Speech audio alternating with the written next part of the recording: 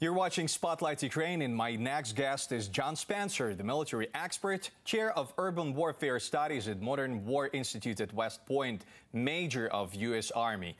So, hello, and good to see you again. Hello, great to see you again, too.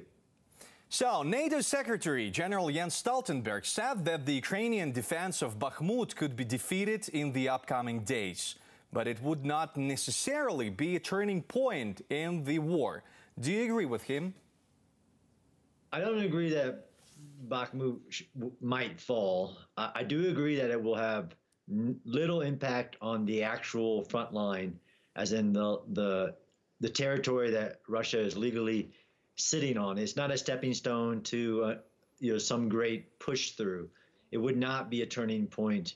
It would be a false political victory for the Wagner prisoners and the Russian military. So my next question is very logical. Uh, the Ukrainian forces still holding on in Bakhmut.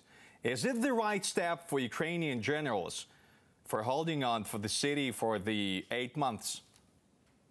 I think so. I mean, it's a tough call that any military commander has to make with political consideration since Bakhmut has become of such great value that you know Bakhmut holds Bakhmut is the fight for Ukraine. But if the Russian military wants to continue to throw waves of human sacrifices at the brave Ukrainian defenders, then there's a saying, don't interrupt your enemy while he's making a mistake. So if this causes the Wagner organization and the Russian military to culminate in that sector of the front line, I absolutely agree with holding, but I don't have the insight of how many Ukrainian soldiers have lost their lives or what's the available resources. But it is not unlogical to hold Bakhmut. Yeah, but why is the city of Bakhmut is so important for both armies, Ukrainian and the Russian one?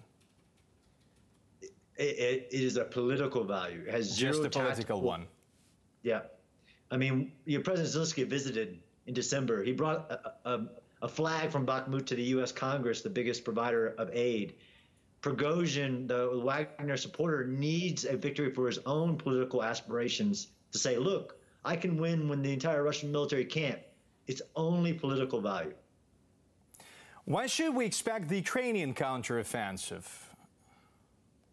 I, if I knew that, I'd probably be making a lot more money than I do now. um, I think it, I think it, it's any time Just your now. predictions.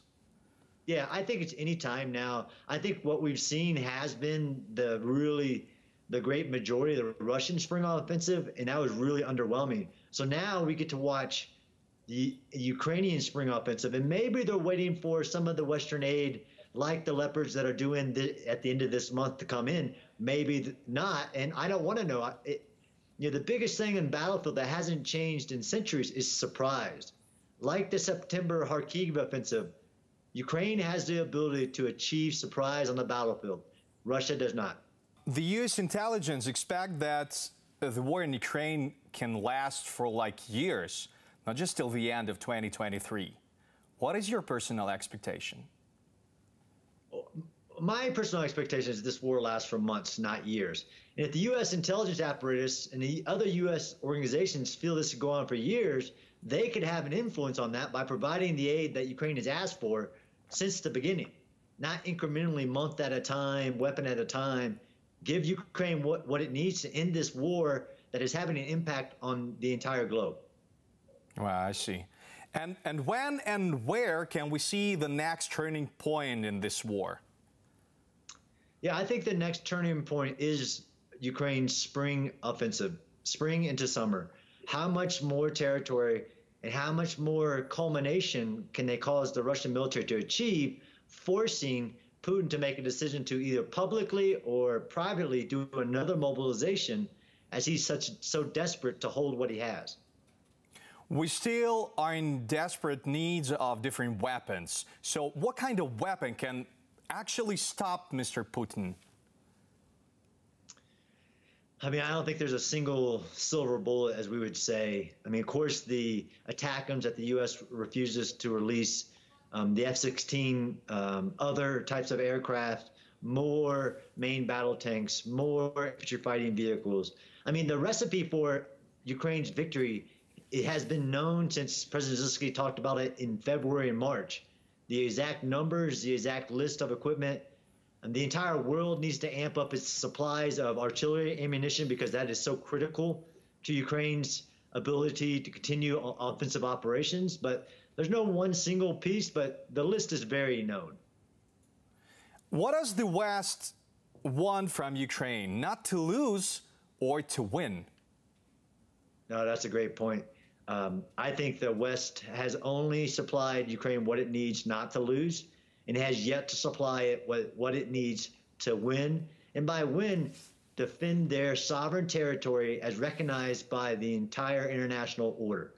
So it isn't about striking Ukraine or Russia or striking into Russia. This is about defending against genocide, war crimes, and crimes against humanity. And, and what is the win for the uh, uh, United States? Um, is it going to be like liberating uh, Crimea?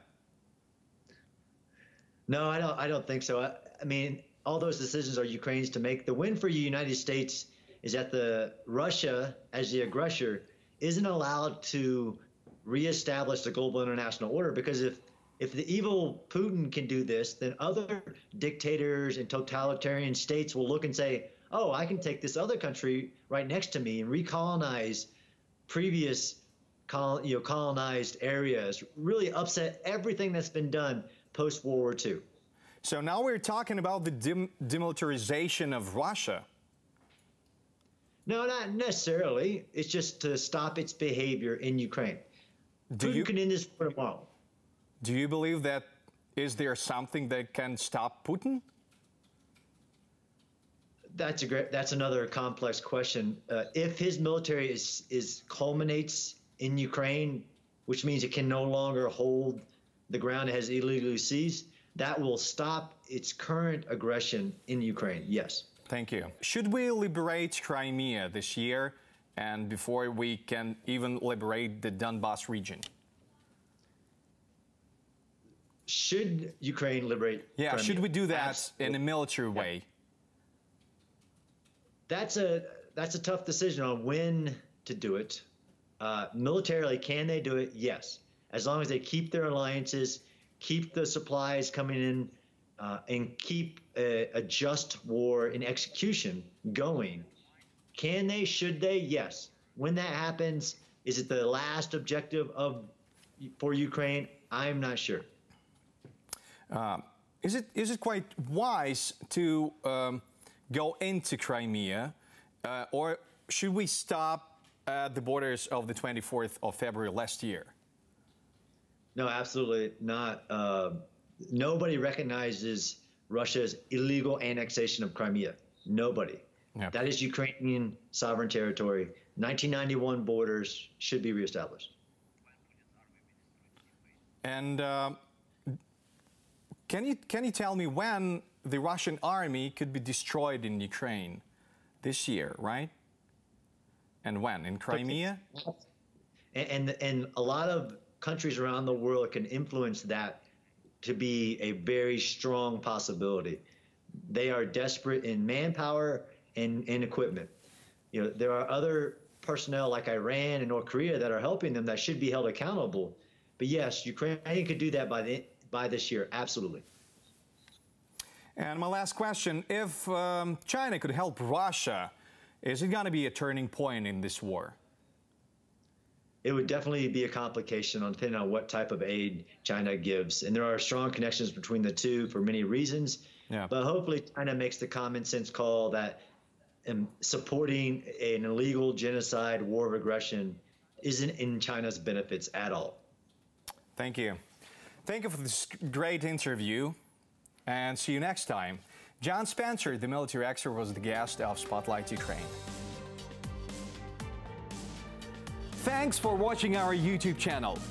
Latest news, trends, and analytics on all about Ukraine. Like, share, and subscribe. Any questions, proposals, and comments, contact us via email.